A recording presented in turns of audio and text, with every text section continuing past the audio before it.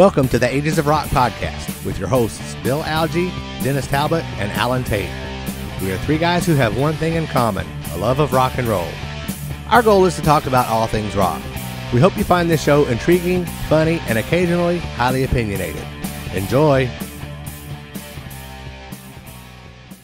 Still love it loud? So do we. Rockin' Pod returns to Nashville on Saturday, August 25th. Over 25 rock podcasts from all over North America, recording on site. Vinyl and memorabilia dealers selling the best in rock merchandise, and awesome rock musicians and personalities participating in signing sessions and on-stage panel discussions throughout the day. Special guests include current and former members of Korn, Kiss, Angel, Winger, Loudness, Accept, Bang Tango, Kik Tracee, as well as producers that have worked with Slayer, Ozzy, Alice Cooper, Sevendust, and many more. More guests being added weekly. Don't miss your chance to be part of an awesome celebration of all things rock. Rockin' Pod takes place at the legendary Nashville Palace, August 25th, 2018. More details available at rockinpod.com. That's R O C K N P O D.com. The Nashville Rockin' Pod Expo. Brought to you by Blind Tiger Record Club, School of Rock Nashville, and School of Rock Franklin, a DBG Productions event.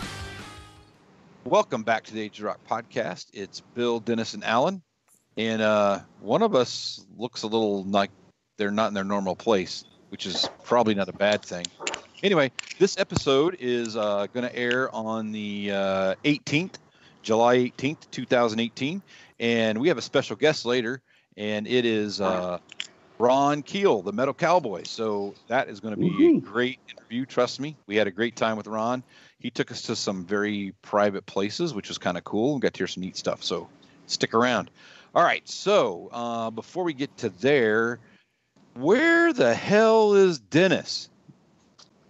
I'm in Vegas. I just got my balls busted at an Indian casino down the road. I said it's funny. We watched um, uh, oh uh, Vegas Vacation, and you know how that whole thing he's he's dealing with that one dealer at that blackjack table. Well, Max wanted to play blackjack, so we we went out to the desert today. We went to Red Rock Canyon, Yeah. and then down to uh, a place called Goodsprings. We ate at this uh, real old saloon. It's been on one of the paranormal things. It's a hundred and it was from 1913 was when this place opened. Great burgers, man. If you ever get a chance, they ain't shit in that town except for that for that bar. So we ate there, and then we went down to another town called Primm. The only reason we went down to these these places was Max used to play Fallout Vegas on his video game, and all these towns are on this on this video game. So he knew all the towns, and and actually made them pretty close to the things of what they are. That saloon was there, and then the thing. So we went down there. This, there's this casino down there, uh, Buffalo Bills. It's got this big roller coaster that runs Oh, around the yeah. thing. Uh, it wasn't running. We drove all the way down for that. It was only 20 miles away. So Max was like, "I want to play some blackjack." So we found one blackjack table open. It was, you know, it was noon. There wasn't a whole lot of people down there. And this woman just absolutely cleaned my clock. I mean, I, I could not get nothing. I mean, she cleaned me out 40 bucks so quick. It, it was ridiculous. $5 a pop. Max sit and played for a little bit longer and he, she finally cleaned his clock too. And, uh, but I did go down to the r- roulette table and bet on red and black and got, uh, 35 of my 40 back. So I, I was only down uh, five bucks. So that wasn't too bad. That's hey, Wow. you win. You win in Yeah. Vegas. You can, if you Right. if you can leave there down five bucks, you win. Yeah, I went to Vegas But- like four years ago, and I spent a whopping five dollars in a one of the poker machines, and that was it. Yeah, I'm down. I'm like I said, I'm more of sightseeing. We went to we went in town last night. We got in late or later in the afternoon, so we went down to the uh, uh, Treasure Island. My mother-in-law's with us, and she's like, Yeah. you know, Max wants to see this, you know, the, the, the pirate ship fight. Well, they stopped doing it two years ago. We didn't know that. You should have said something. So- I'd have told you don't bother. So we, we waited around. The show was supposed to start at ten. It's like it didn't start. And I asked the guy at that Se- Señor Frogs, and he's like, "Dude, they ain't did that for two years." Yeah. So we went over to the uh, Venetian, walked around there for a little bit, and down to as far as um, uh, where did we go down? Anyway, went down a little bit and then come back. It was the town was just packed, and we were tired from traveling all day. We did get in the car and drive up to uh, is it Fremont Street just Yeah. to see where it was at, and it was it kind of sucked because I was I kind of wanted to go, but everybody was kind of tired. And as we went by the the main road that cuts across there. I guess that right there is a stage. I guess there was a live band playing, and they were. I don't know if it was a Van Halen tribute, but they were doing "Running with the Devil," and I'm like, "Damn, I like." they have a lot of. You need to look at that. Look at the Fremont Experience online because they have okay. concerts there all the time, and usually that's it's named people.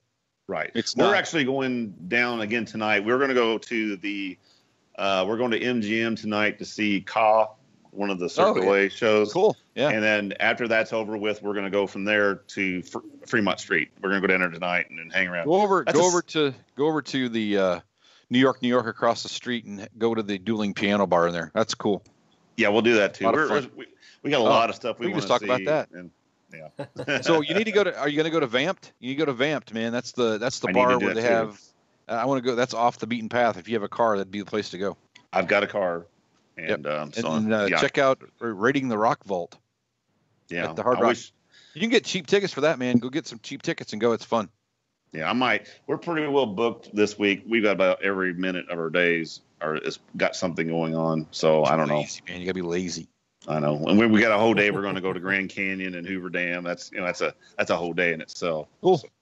Any rock news? We lost him. He just froze up. It's frozen. He has never looked better in his life. Oh, wow. Oh, frozen damn, didn't all froze. you were frozen. Now he's back. There he is. He's back. He's danglers dangling. But no, I, I haven't really heard anything this week. Uh, not nothing really going on. I've been more in Vegas. I'm in vacation mode right now. So cool. Good for you. yeah. But uh, I have no rock news. The only thing I really have to say is don't forget that if you want to check this episode out again, Check us out on Saturdays and Wednesdays on kgfrocks.com. Cool. Exactly. All right. I went to two shows this week. Um, oh, yeah. I forgot about that. On, uh, well, last week, I guess it was. Wednesday, I went to see um, Styx. Uh, it was Styx, Joan Jett, and um, Tesla. Good show. Um, Lisa is a big fan of Dennis DeYoung, so every time it was a Dennis DeYoung solo song, you could see her with her fingers in her ear, saying they're looking like she was in severe pain. Um, she did tell me that "Lady" is her favorite song, and if he would have sang that song, she would have left. You tell, tell Lisa that I have more respect for her now because "Lady" is my number two all-time favorite song. Yeah, and was, I just actually just listened to that on my phone today. She was not having any of it. So um, it was a good show, though. Um, I want to thank our buddy Tim Rosner for uh, hooking me up, and um, we had actually the best seats I've ever had at that venue. And we've set up really close before. And in the back, we had four rows behind the soundboard, and the sound was really, really good, and the visual was good. I thought Styx did a, put on a pretty good show. So um, I, thought they, I thought it was all went really well. Joan Jett actually was much better this time than when we saw really? when we saw with Heart and Cheap Trick she was much better. She played um, I don't know how many twelve songs, one song after back, back to back to back. Um, but they were it was pretty enjoyable, much better than last time. And well, you know, I, I think that when we saw Joan Jett and Heart at Riverbend, I think that there was just something wrong the whole time because none of it was an enjoyable experience. I don't think. Yeah, I know. I didn't like. I didn't like. Yeah, our wives being there either. well, it was hot and where we were sitting was kind of funky. It was never uncomfortable and the sound wasn't the best. Yeah. It, you said it wasn't a it wasn't a pleasurable evening. It wasn't, it wasn't the greatest experience. The best part of that evening was the carrot cake at the restaurant before the show. yeah. and then, but um, anyway, Friday night, yeah, Friday night we went to um, we went to see Foreigner and Whitesnake and um, Jason, Jason Bonham. Bonham. I'm telling you, I read yesterday, I think it was, that um, Jimmy Page, John Paul Jones, and um, Robert Plant are discussing a 50th anniversary tour. And, I saw uh, something. Uh, that would be awesome, and they got it. I mean, I don't. They haven't talked about a drummer, but it's got to be Jason Bonham. I'm telling you. Oh, yeah, it will I, be. You well, know, you know when you go to those shows that start at seven, there's nobody ever in the stands for the seven o'clock band. You know, there's there's the stands are quarter full at the most, packed, and wow everybody standing up and cheering and screaming, and it was cool. Um, they that's a, he's got a great band. Jason Bonham's got a great band. Um, Whitesnake was really good. Eh, the sound was a little muffly, couldn't hear very well, and Foreigner was really good. I just had heard, and that's the third show that was exactly the same show. Um, is what I saw last year. I'm like, okay, but um, I did get to meet Jeff Pilson. Um, actually, I got to meet the whole band. Um, it was a Jeff hooked me up with a meet and greet, got to shake hands, and then took a picture with the band and left. It was five minutes max. Yeah. And um, Did you get your picture, or did they put it online? I guess at it's some supposed to be point, or- online. I haven't seen it yet. I keep looking for it and haven't Post seen it on a page when you get it. on. I Oh, want to see it. Trust me, I will. I'm just trying to see if Yeah. it's ever going to come through. Let's see if it comes Yeah. through. You guys keep ch- keep jabbering. You got anything else? If not, Um, let's be done with it. Well, I think we probably need to be done with it. All right, let's just be done with it then. If you want to be that all way. right. All right. So Friday. Oh, and we. Yeah. And So suddenly everybody wants to say something. I forgot. go ahead, Dennis. No, we will be taking a little Uh, vacation here. Yeah. Whatever. Yeah. We're gonna miss a week here coming up. Yeah, we're going to be off a week. Okay. So, So last Friday, our next guest does a live radio show, and last Friday I was on. I was listening to the show from work, working really hard, and he said, "Hey, call this number one eight hundred and blah blah blah," and I can't remember what it is right now. And um, I so he's you can send an email for Twitter, you can whatever. So I'm sitting there and I call the number. Phone rings and rings and rings and rings, and he picks up and goes, "Hey, it's Ron Keel. What's going on?" I'm like, "What?" so we chat a little bit on his live K Rocks, uh, or, I'm sorry, KBack.com radio show, which was great. Um, had a good time, and um, he played a little Whitesnake for me because I requested some Whitesnake for the show that night, and um, it was awesome. So we had a good time, and um, here you go, Ron Keel, the heavy metal cowboy. Hey, Ron, I see you're in the studio. What are you working on? I am in the studio here in Sioux Falls, South Dakota, recording the new Ron Keel Band album. The album's called Fight Like a Band, coming out on EMP Outlaw Records. David Ellefson from Megadeth has signed us to a, a great deal with his EMP label group.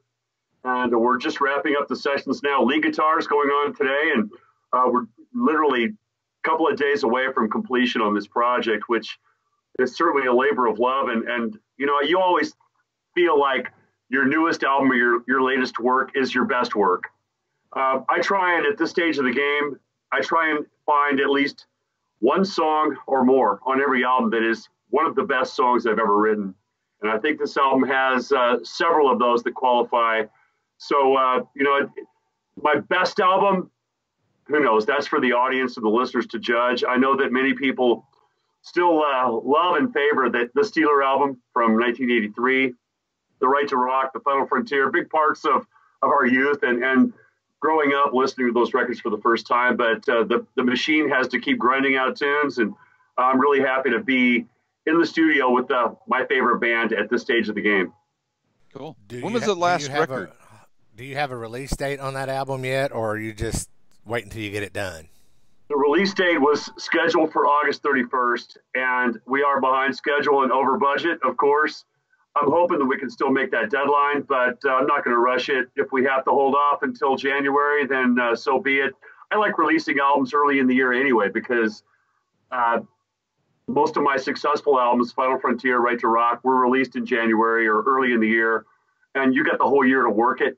Uh, but uh, we had hoped to have this one out already. It's just been a long process. The creative process, uh, just uh, it doesn't. Uh, there, you can't put a deadline on that. And it's the first album that I've written and recorded in four years. So I wanted to make sure that it's something that could live up to my standards. I think I've set the bar pretty high with the last album I did, Metal Cowboy, which was a huge critical success and re-released this year by EMP Records as Metal Cowboy Reloaded, remixed, remastered, bonus tracks and such. So uh, that to me set the bar pretty high, and I want to make sure that this record lives up to that standard. Cool. awesome. Awesome. Bill, go ahead. You were. You Well, were I asked. I. I, I had a question. he he answered that, which was when was the last record? And I thought it was like, and I knew it was. I thought it was in 2014. I was going to comment that I had seen that had been re-released. So that's really that's that's pretty cool. Very cool and the, stuff. la- the last Keel album uh, was 2010 on Frontiers Records, uh, Streets of Rock and Roll, which is a great record uh, that a lot of people, and I know Frontiers did some promotion on that record, and uh, it's, in my opinion, the best Keel album ever. but a lot of people don't know it exists. I'll post a song on my social media from that album, and people will think, oh, "Wow, new Keel," and they have no idea that that record came out in 2010. But uh, highly recommended. Streets of Rock and Roll from Keel in 2010, and that that would be a tough one to to top if we were to ever do another Keel album. I'm certainly very proud of that release as well. So uh, hopefully it won't take four years to get the next album out. I have seven albums on the uh, the timetable right now, two new ones wow. and five reissues. Uh, of course, uh, Rock Candy Records, great label from uh, the UK, is re-releasing the Keel Final Frontier and self-titled albums, the MCA year, so to speak. And uh, they're re-releasing those, remastered, re reissued on CD finally after decades of fans uh, wanting those records in their hands.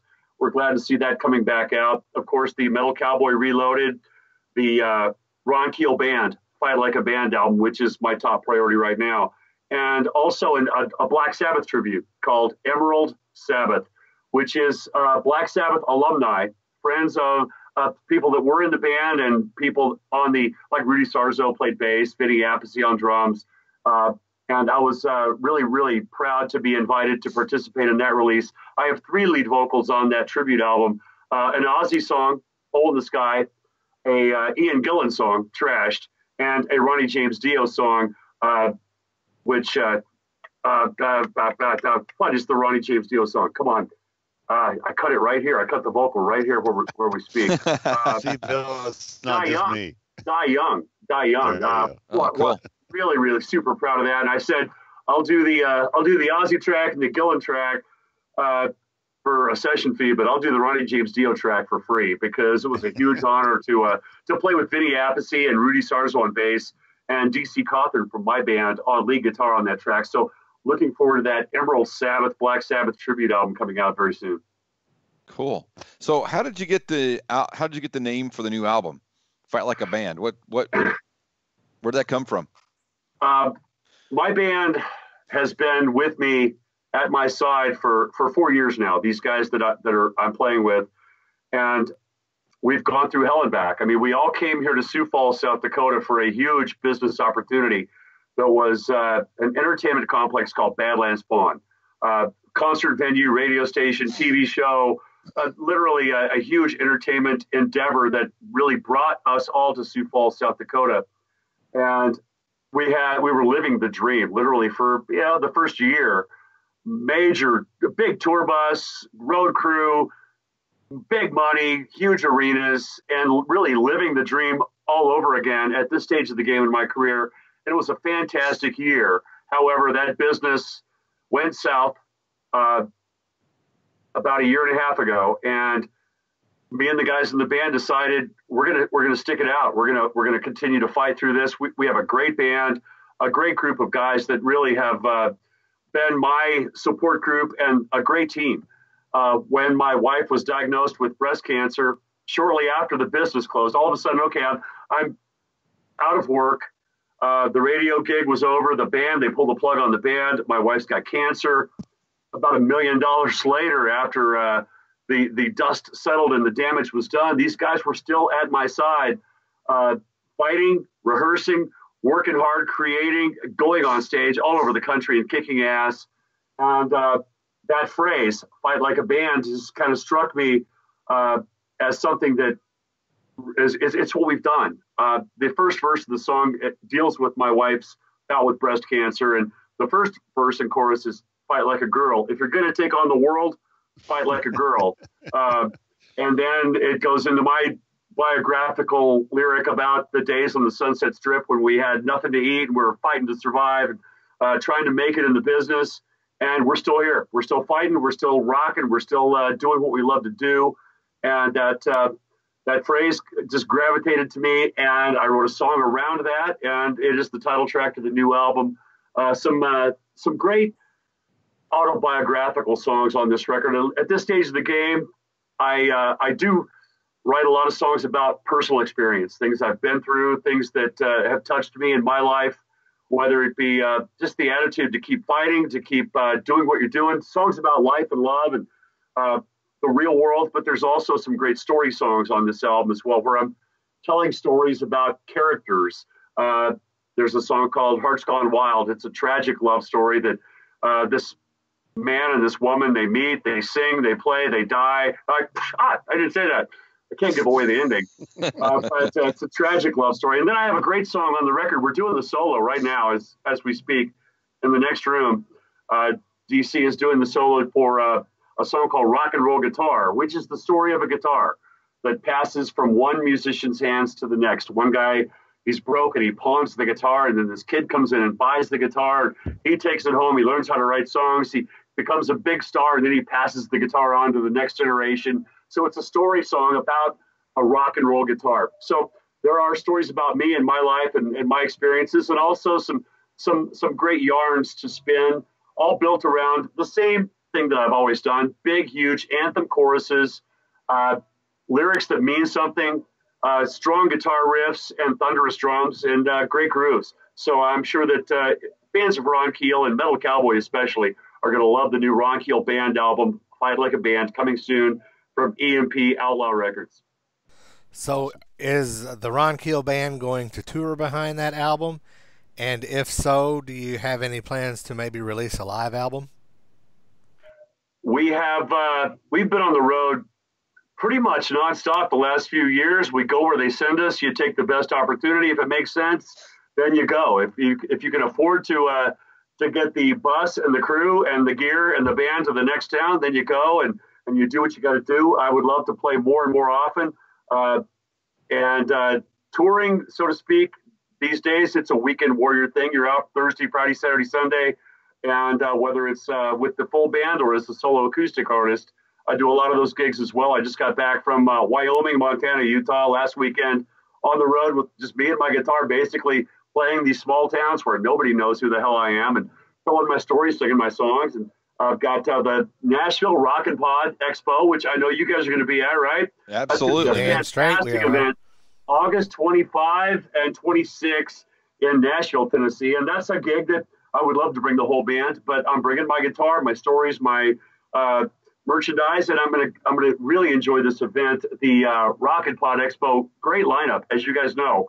Uh, we've got uh, Mitch Malloy, Frank DiMino, and Punky Meadows from Angel, uh, Tora Tora, lots more guys. Michael Wagner, multi-platinum producer, good friend of mine who produced the self-titled 1987 Keel album, will be there. Michael and I will be doing a panel discussion together at the expo, and uh, just great to be a part of that event. Go back to Nashville for the first time in four years, as as you may know, Nashville is one of my hometowns, and uh, to get to go back there and do it at an event like this with me, my guitar, my songs, my stories, uh, going to be a great time. I can't wait to see you guys there.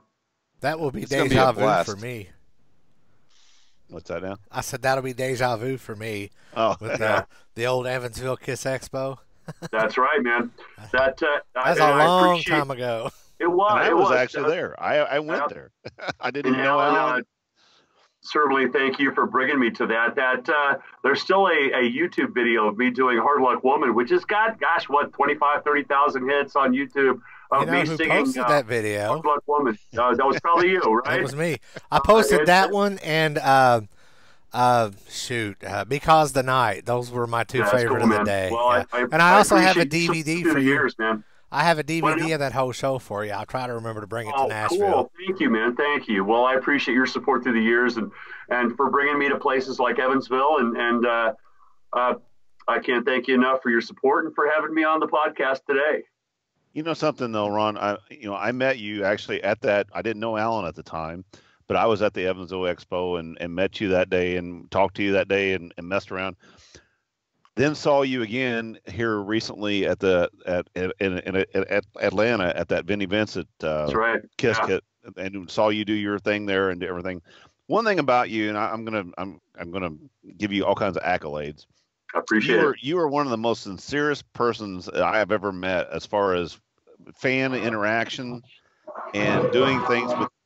What heck was that? Sound like music. It is music. Sorry, they're, they're, they're tracking guitars in the next room. Oh, that's cool. we're Yeah, getting it. we're We're gonna getting hear a. You're getting first. a record. Yeah, you're getting to hear it first here on the podcast. That's a great song right there. That's the Hearts Gone Wild song. Now they they're making good progress in there. They should have the album done by the time we're finished with this interview. But I appreciate Awesome. those accolades. But no, like I You know, said, though, I've seen you and I've seen you in action over a 20 year period at different times. And like I said, you are one of those people that are sincerely honest, good with their fans. I mean, you'll, it's, it seems like you do everything you can out of your way to, to make a fan happy. And there's, Well- there's a, not a lot of those around anymore, you know? Thank you. I appreciate that. And that comes from two places. One is the the heart and uh, the soul. That I believe that we we've got to be people first. Uh, I'm a musician second. I'm a human being first. I'm a man, and my uh, how I carry myself and how I act uh, and how I treat other people is uh, the most important thing. Second of all, it's just good business, man. I'm telling you, throughout the course of what 35 years now as a recording artist, you're going to lose a lot of fans. You're going to you're going to gain a lot of fans. I mean, uh, people that bought the Steeler record may may not be buying my next album. You're in a constant battle to win these people over. Everybody that likes you uh, is another notch in your barrel, and it's it's not just business. I do enjoy it. I do enjoy that interaction with the fans and uh, just being me and and that, that freedom that I didn't have back in the day. You know, back in the day in the '80s when I was selling a lot of records in my heyday, it was fashionable to be a quote rock star. It was it was not cool to be the guy next door, man. You had to be larger than life and outrageous, and you had to be on heroin, and you had to wreck cars, and you had to uh, do stuff that just that wasn't me, man. You know, I was always the guy next door. I was always trying to be, uh, you know, do the right thing and be a nice guy. And people didn't really want the guy next door. They wanted that larger than life rock star who maybe died at the age of 27, like so many did.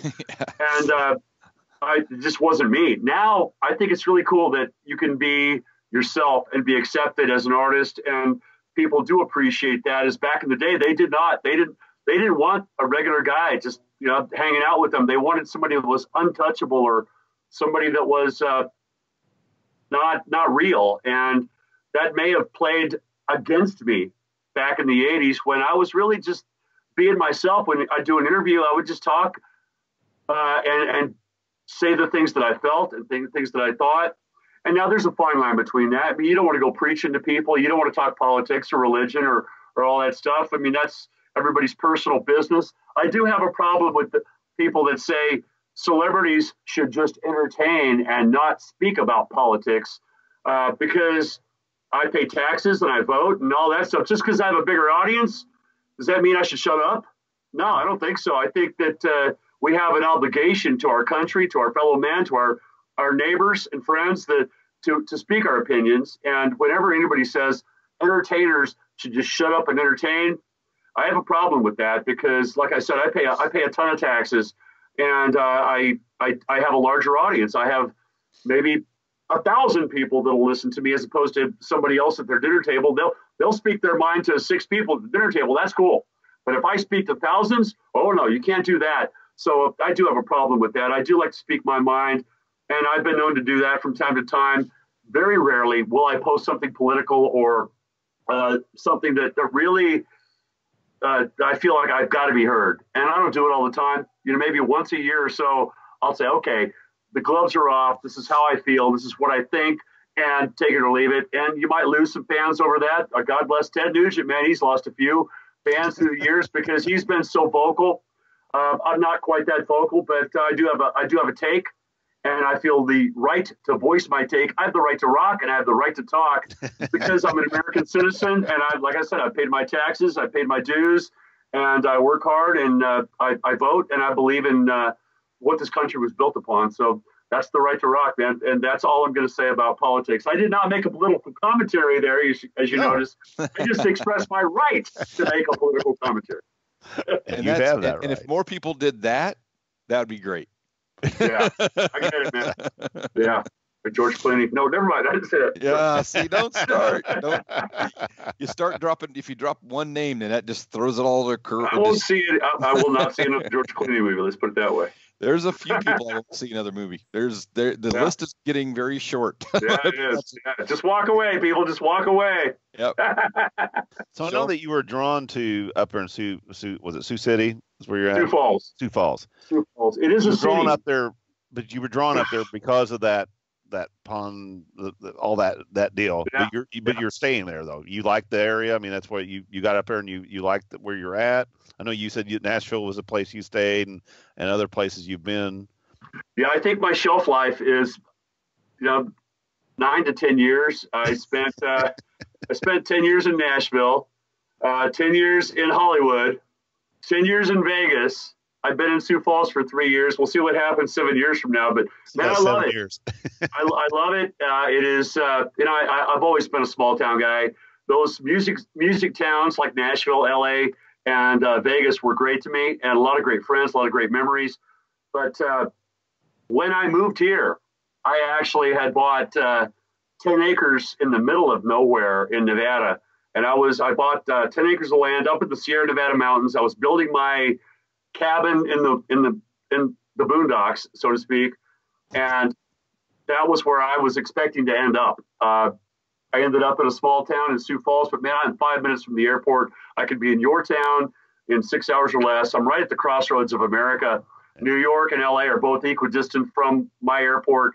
Uh, so it is it is an address. I do love it here. I love the winters. I had no idea how much I was going to fall in love with the snow and, and the, just the, the covering of white that we get here for six months at a time. Uh, I'm a desert guy. I grew up in uh, Phoenix, uh, Vegas, uh, and those are the, the rocks, the cactus. I love all that stuff. But Sioux Falls has been great to me. And uh, the treatment that my wife received for, for her breast cancer, she had seven surgeries. It was a year and a half of, of a hard fought battle with Wow. breast cancer. And the treatment she's received here was the best in the country, state of the art. Um, and we believe that uh, the forces of creation put us here for that reason. Uh, she's in the right zip code. If you're going to get breast cancer, you want to be in Sioux Falls, man, because the treatment here was absolutely incredible. The people have been uh, really, really embraced me and, and what I'm doing, both with the Ron Keel Band and with the radio station, KBACK Radio, which is the biggest, boldest, baddest, loudest inter- internet radio station in the business. We are doubling our numbers every month. Last month we had 60,000 listener hours. Wow. Uh, and we are uh, we're just crushing it in the ratings. And uh, you guys know internet radio uh, is uh, it's the wave of the future. It is the Netflix of rock radio, and the radio station is doing fantastic. So I, I'm still doing what I came here to do in both the band. Uh, we, re, we rebranded it the Ron Keel Band, but it's the same guys, same mission, same great show, and the radio station as well, rebranded as KBACK, K B A C K dot rocks. Uh, I'm on the air live 10 a.m. to 1 p.m. Central Time every day, weekdays, if I'm not on the road. And I just love that interaction with the fans, the listeners, the uh, the phone calls. I mean, you can call me, you can text me, you can email me, you can Facebook me. It is an absolutely interactive social radio experience that I do every day, three hours a day, very much like putting on a, a concert or a show. I'm building the playlist and I'm interacting with the fans, and uh, I, I'm addicted to it. So I really enjoy that aspect of what I do. And uh, when it's time to hit the road, like I said, I'm five minutes away from the airport, and I'll be in your town before you know it. I tell you what, you Hey, seem Ron- to adapt well. You know, to in, any situation that you've been dealt with, you you have a great way to adapt to it. Thank you. I appreciate that. Well, that's uh, that. I think the term for that is a survivor, and Yeah, that's part of part of my success at this stage of the game is that I've survived uh, this long and I've kept swinging. I'm a firm believer, and I use a lot of sports analogies in my coaching, in my band, in my business. You cannot hit it out of the park if you are not swinging. You don't swing the bat, you don't hit the ball. That's just simple logic. So I've just kept swinging for 40 years now, literally decades of that. We're going to celebrate the 35th anniversary of the Steeler album in September. And uh, I believe, man, you got to be in the game. You got to be swinging. You got to be playing. The best way to, uh, to, to, to kick ass is to keep kicking ass. And uh, I don't know any other way to do it. So does that mean you and Yngwie are going to go hang out together? Man, I don't think so. I don't think so. And I would, I would, man. I don't know. I mean, that that's a that's a character thing, a personality thing. Uh, we had some good times. We had uh, co- collaborated on an album which made heavy metal history. That Steeler album is one of the foundations of 80s metal. Uh, at one time, was the biggest selling independent heavy metal record of all time. Launched both of our careers, and Uh, I don't know why he wouldn't want to at least say, "Hey, Ron, screw you." I mean, or something. Uh, I've reached out to him through the years, and he doesn't want anything to do with me. Uh, and that's cool. I mean, to each his own. I'll just uh, hang out with the people who actually want to hang out with me. Uh, I do appreciate the contribution uh, that we both made to, to rock and roll and, and to heavy metal history. And I think uh, I just, I mean, I love reaching out to former bandmates, old friends from high school. I mean, who wouldn't want to say hey to an old buddy that was on the basketball team with you 40 years ago and say, hey, man, it was good times. I miss you. I hope you're doing well. There's not, there's none of that with me at Yngwie, and uh, it's certainly not from from my end. I would, I would uh, applaud him for following his vision, doing what he came to America to do, and uh, becoming one of the greatest guitar players that ever lived. In fact, when I found him in a, in a basement in Stockholm, I thought he was the best guitar player on the planet. That's why I brought him here, and uh, it hasn't changed. He's uh, an amazing talent. Cool. Awesome. Hey Ron, go back to your to the radio station.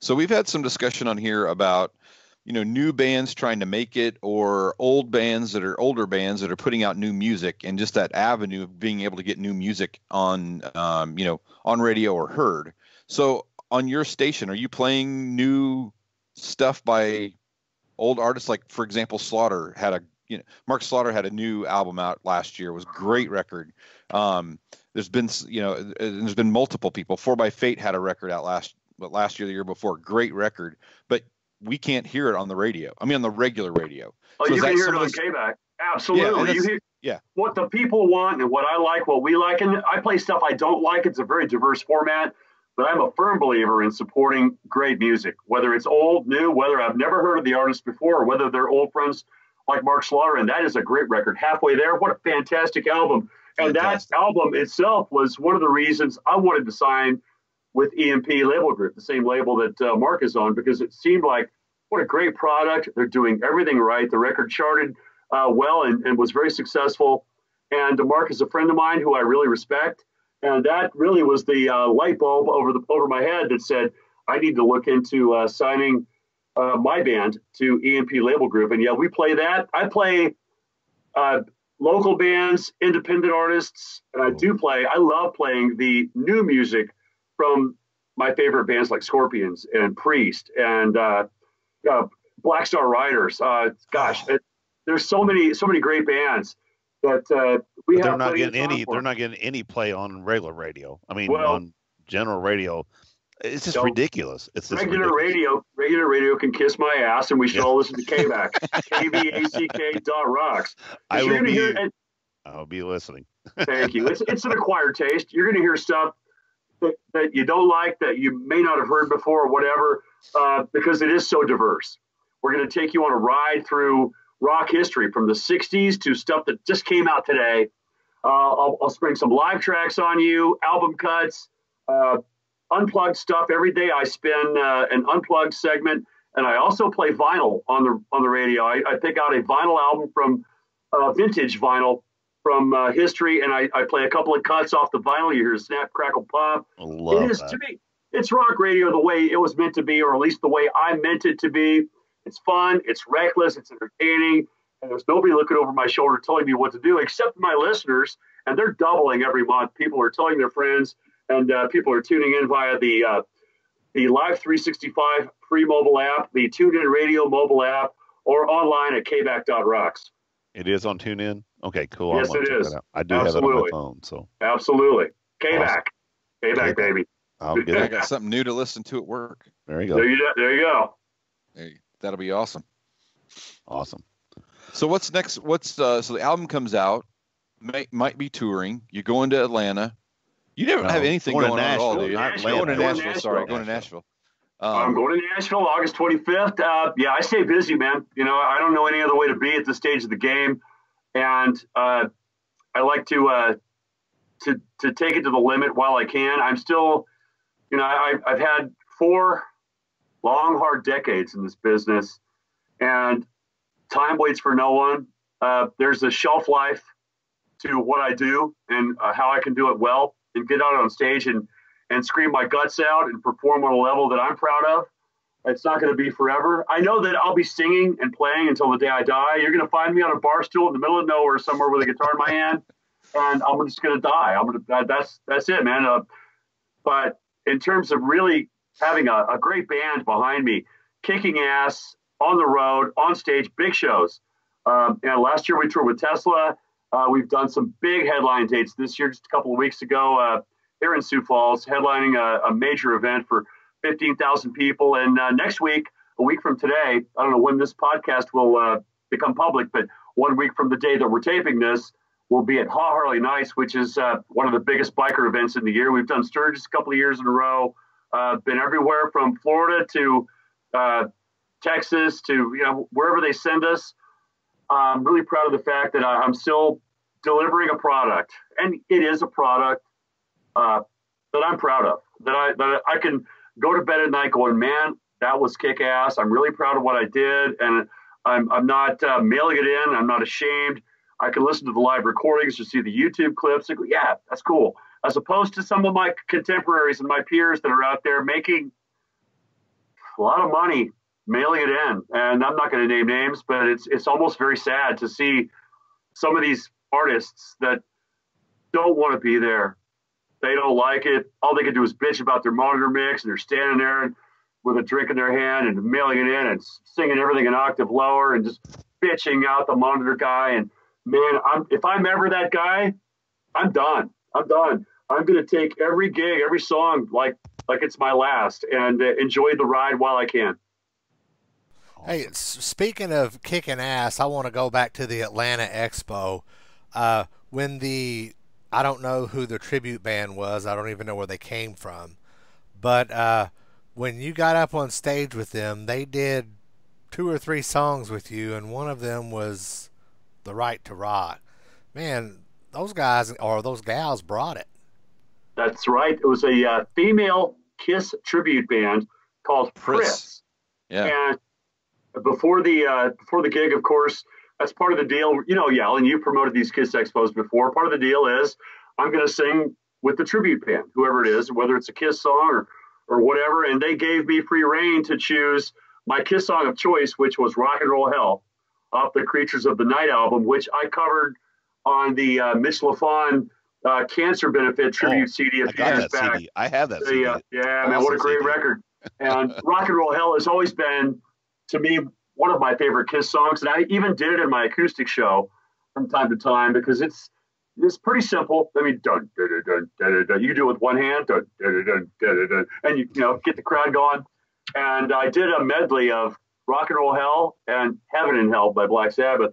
And uh, when Mitch Lafon approached me to do the Kiss tribute album, he gave me my choice of songs. I chose that one and we had um, me on lead vocals, Eric Brittingham and Jeff LaBar from Cinderella on guitar and bass, and uh, Troy Luccketta from Tesla on drums. What, what a great lineup of musicians. And uh, the track came out great. And I thought, if I'm going to do a Kiss Expo and, and get up with a band, if I could choose one track to do, that would be it. And of course, The Right to Rock works great. And I, I applaud those bands that, uh, especially Priss, that was a great gig in Atlanta late at night. It was very, very late uh, last last couple of songs of the night to be able to get up and do that with them. And I thought it was a really solid performance. Those girls did a great job, and the lead singer remembered all of the lyrics. I'm really proud of him too. hey Ron, I got um, we've talked on this show a couple of times about um, you know, in 10 years or 20 years, will there will there be any bands that have a 30 year career? I mean, well, we is that going is that going to ever happen again, or is and it's interesting. What's your take on it? I mean, you're you've been around a long time, so we've the had newer this discussion. bands that are around are the they going to be around nowadays? Aerosmith or uh, the, yeah. the next Rolling Stones? No, I don't think so, man. You know, I mean, yeah. who am I to say? I'm just a rock and roll guy who's trying to uh, get through every day and have a good time and entertain people. Uh, so these philosophical questions about the future, I do feel that times have changed drastically since I was coming up in the business 30 years ago, and they're only going to keep changing. I mean, that's part of the nature of, of our culture and uh, the business and music has always been a reflection of the culture, even from the time the first caveman pounded on a, a, log with a rock. I mean, he's making music, all right? That's the statement of their culture. They're doing their tribal dance and they're chanting and they're pounding on a log with a rock, all right? That's the reflection of their culture. As we progress through time, other styles of music, whether it was the blues, uh, country music, rock and roll, Chuck Berry, on through the the 60s with the British invasion and the Beatles and the Stones and the Who, and then uh, the 70s, then metal in the 80s, the 90s. I mean, it's a reflection of our society and our culture. Technology has changed all of that, for better for worse. I mean, the guitar, the electric guitar was a technological innovation, okay? It changed the world. I think it changed the world for the better. I'm not sure about the internet. There's so many cool things about the internet that we can enjoy this conversation via Skype, long distance. We can see each other. We can communicate. We can interact. I know what my granddaughter did today in uh, Minnesota because uh, Michigan. Sorry, she's in Michigan. I know what my granddaughter did today. I saw my granddaughter learn how to skate today. How cool is that? Because of the internet. If it hadn't been for the internet, I wouldn't be able to see her take her first trip on roller skates. So it's cool in so many ways, but in a lot of ways, it's shortened our attention span to the point where nobody listens to an entire album anymore. When are you going to put on an album, start at track one, listen to the whole thing, top to bottom? Very rarely. Uh, and the fact that uh, you can find your favorite artist, you can go to their concert, whatever they, wherever Bon Jovi played last night, you can find it on YouTube, man. Why go? Why bother with parking and uh, paying 500 bucks for a ticket and all that when you could just see it on the internet. Um, the attention span is very, very short these days, and it's a reflection of our culture.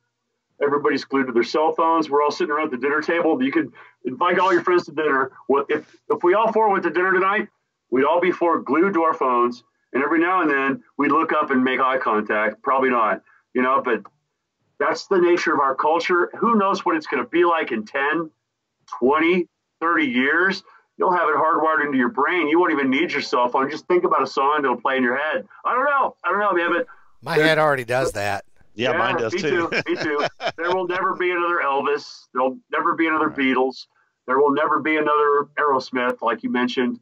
Uh, bands that have that kind of longevity, and you know, it, everything's it's disposable now. Disposable. It sure is, I man. Mean, these these people are these, bands that come out are disposable. And I think that, like I said, I'm 50. I just turned 50, 53, and we're but we're the, we're the people who still buy an album, listen to it from song one till we get done. You know, I'll read whatever liner notes if I got my if I have my bifocals on where I could read Absolutely, the CD. Man.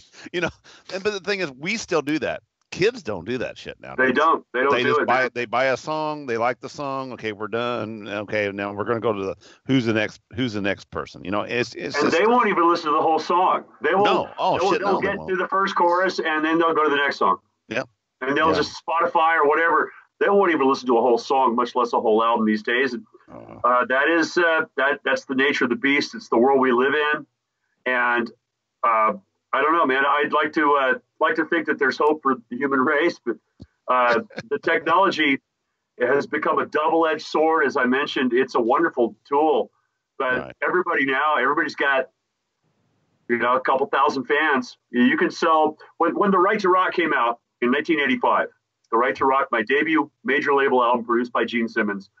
We uh, we sold ninety thousand albums the first week. Right. All right, and we did not crack Billboard's top 200. Didn't happen. We're not on the charts with ninety thousand today. today, ninety. Today you That's sell almost 20 gold. Today you sell twenty five thousand albums. Yeah. You're number one on the Oh, yeah. charts. 90, you would be number one, and you'd probably have a they give Oh, yeah. you like some special accolade for it. Yeah, yeah. Uh, with 90,000 albums sold in one week, we did not crack the top 200. Today, you sold 25,000. You're number one, and but you're still like Luke Carl said in the movie "Here I Go Again." You're still the number one broke guy. You know, the, the guy. you figure, you know, you're going to make a hundred grand off a record, and uh, you're going to split it with the guys in the band, pay your production costs, and at the end of the day, you're going to make wow, 20 grand. That's why uh, Guitar Center has these stupid commercials with these guys playing on the subway for tips. Like, hey, buy a guitar from Guitar Center. You too could play for tips. uh, I don't get it. Uh, I have I have higher aspirations than that. I still do, man. At this stage of the game, for me, the dream is still alive. Uh, I do believe there are opportunities out there. There's money to be made. I can make a living. I can uh, find ways, creative ways, whether it's writing a book, hosting a radio show, making albums, touring, uh, and whatever else to be able to make a living doing what I'm doing. This is not my hobby. This is my way of life. This is my job. This is my avocation. This is what I chose to do when I was a very small child. And I still believe that there are opportunities out there for young musicians. There, you know, whether it's hard rock guys. I mean, you talk about hard rock bands. I don't know. I don't know what kind of coin Halestorm is pulling down, for instance. I do know guys like Ed Sheeran, who is a young songwriter, artist who has been hugely successful, multi platinum mm-hmm. success. He's making big bucks and he's succeeding. He's succeeding in our business. Uh, so I applaud that. People like that give the young generation hope that there is still a chance for success, but they're settling for, well, man, we could make a hundred bucks and we might have 50 people at our show. And that's a big deal to them. For me, that's that's a colossal failure. Um, you got to aspire to more, like like we did back in the day. Steven Tyler said it best: "Fake it until you make it." And you know, you got to be big time before people will think you're big time. And uh, you know, I, I'm glad that I was able to enjoy some success in the 80s that has given me the, the momentum and the the uh, inertia to continue my career at this stage of the game and still kind of uh, there's people that will listen and people like yourselves that will want me on the podcast and say, hey, let's talk to Ron Keel as opposed to not giving a shit. You know, I mean, I appreciate the opportunities as they come and whether it's uh, one person or a hundred thousand people, I'm going to continue to try and win fans over one fan at a time. And uh, like I said earlier, you're going to lose a lot of fans along the way. There's people that that don't want what you do or don't like what you do. You just got to reach out and win somebody else over and have them put their fist in the air and sing along and buy what you do. Uh, one of my favorite uh, philosophies, if you will, is the fact that I've sold 3 million albums. You know what that means? That means there are billions of people who don't give a shit, who don't want what I do, who don't care. I'm cool with the three million. I'm good with that. But you know, that the, the, fact is that there's billions of people who don't know who the hell I am and don't want to know. Well, like I said, well, that's we, our job. We're, our yeah. job is to figure out to to get you out to 35 other people. yeah, yeah. Thank you, thank you. And you know that, that that's what it takes. One listener, one fan, one friend at a time, and continue to build and grow and and uh, don't stop swinging, man. I, I'm just I'm, I'm still in the game, and the fact that you guys want me on the show is is a, a testament to that. Well, by gosh, there's a bunch of people our age that still love that music and will still keep buying and still listen from from the first track to the last track. We won't fucking stop unless we gotta go to the bathroom or something. You know, sometimes our, our, our we don't have get old as long as we used to. I appreciate that, and I can't wait, to, uh, can't wait to uh, spring the new album on you. Uh, really proud of this record, "Fight Like a Band" from the Ron Keel Band on EMP Label Group. It uh, it, as far as I'm concerned, it is the best album I've ever done because it's the next album I've ever done. is it? Um, you think we might hear something in Nashville from the record? Uh, it's quite possible. Yeah, I mean, uh, there you go. The release date's August 31st, and the Nashville Rockin' Pod Expo is August 25th. I can guarantee you, I will have the uh, the final mixes in hand. It'd be great to have a couple of promo CDs to uh, to turn some people yeah. onto the new music while I'm there. So we'll see. Thom Hazaert, who is the head of A&R at EMP, is going to be at the, the Rockin' Pod Expo as well. He's oh, the cool. boss. He's, he's the head of A&R, director of operations for Dave Ellefson's EMP label group.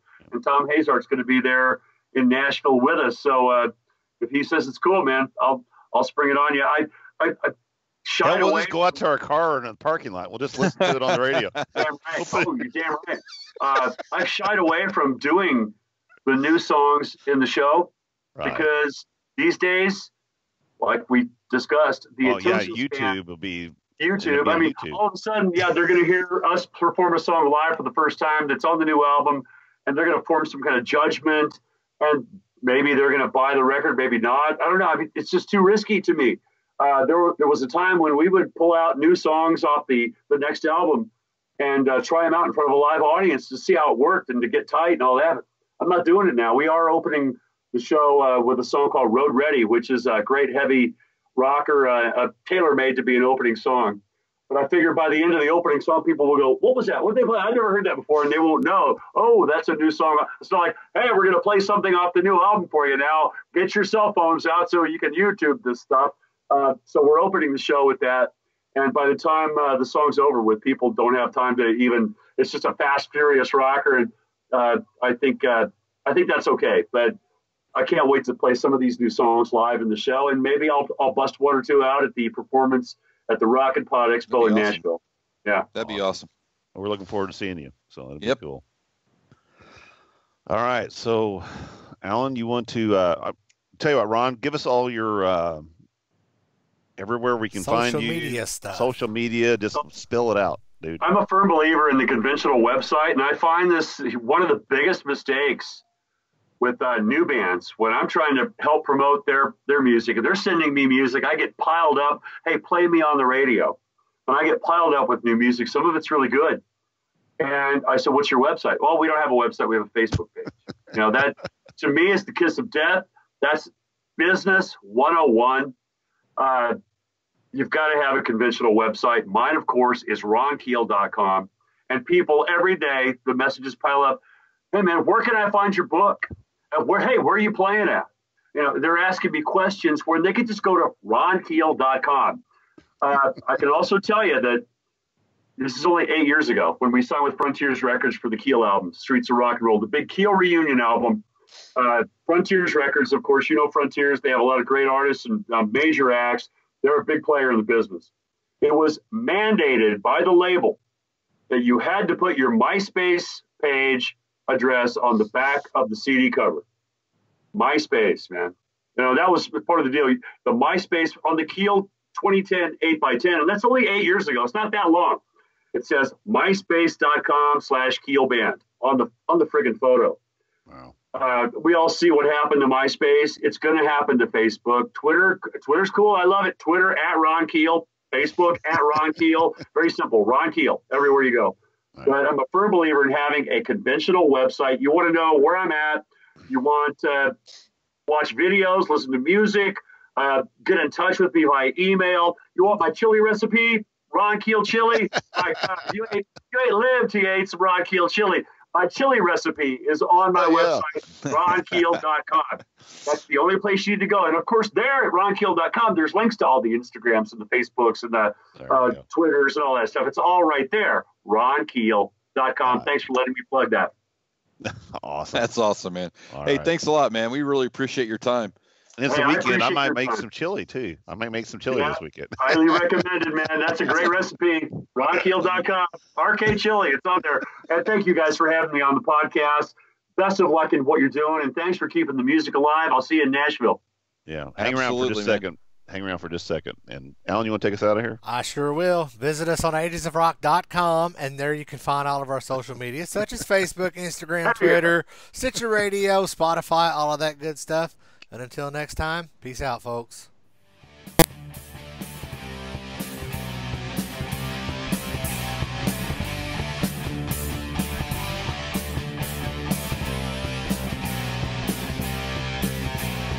Thanks for listening to the Ages of Rock podcast. If you haven't done so already, be sure to subscribe to our YouTube channel, like us on Facebook, and most importantly, tell all your friends. Remember, you're never too old to rock. Until the next episode, peace out, folks.